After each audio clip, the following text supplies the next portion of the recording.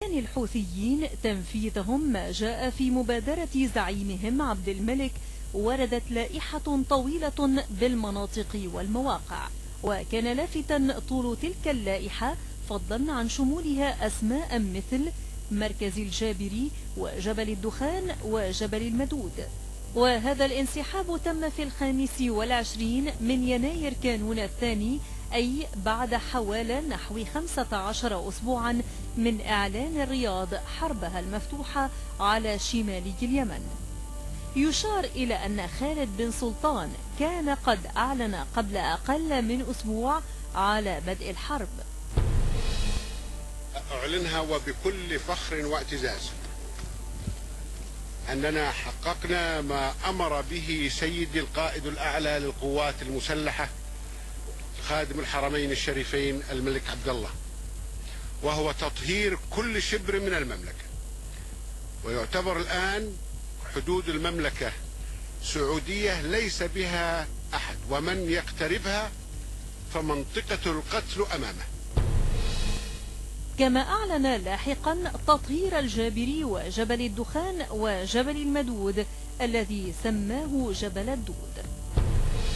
الآن ومن خمس دقائق فقط استلمنا بلاغ أن كل قمم جبل الدود الآن مسيطر عليها سيطرة تامة من آه، القوات السعودية أو ما أسميهم أسود الملك عبد الله هؤلاء الرجال الأسود آه، طهروا المنطقة وتعتبر لأنها تعتبر من أهم القمم المسيطرة على سفاح الجبال اللي موجودة سواء في الدخان أو في رميح ولهذا آه، أنا أزف البشرى هذا لأنه يعتبر الآن آه، منطقة مسيطر عليها من أهم آه، المناطق الاستراتيجية.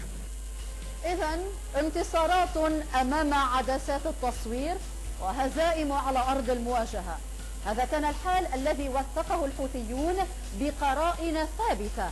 بينها أفلام فيديو من مناطق أعلن الأمير تحريرها. جهل أم مكابرة؟ سؤال قد تجيب عنه هذه المفارقة. في كل تصريحات خالد بن سلطان مما كان يوصف بأنه أرض المعركة كان الرجل يحرص على تأكيد العلاقات الوطيدة التي تربط الحكومتين السعودية واليمنية والتنسيق القائم فيما بينهما. وقد انفضح أمر هذه العلاقات وطبيعتها أو على الأقل مدى معرفة خالد بن سلطان بها. عندما تبين بالصورة والصوت أنه يجهل حتى اسم الرجل الذي يتولى رئاسة الجمهورية في اليمن منذ أكثر من ثلاثة عقود. ولكن بالنسبة لعلاقاتنا اليمن الشقيقة وبرئاسة فخامة الرئيس علي صالح علي مبارك علي عبد الله صالح. هي علاقات قوية. هكذا إذا تنقلب الصورة على الحدود السعودية اليمنية. منتصر يطفئ حريقا ومهزوم ينفخ فيه. هكذا انقلبت الصورة في موضوعات حلقة اليوم. شكرا على حسن متابعتكم. إلى الملتقى.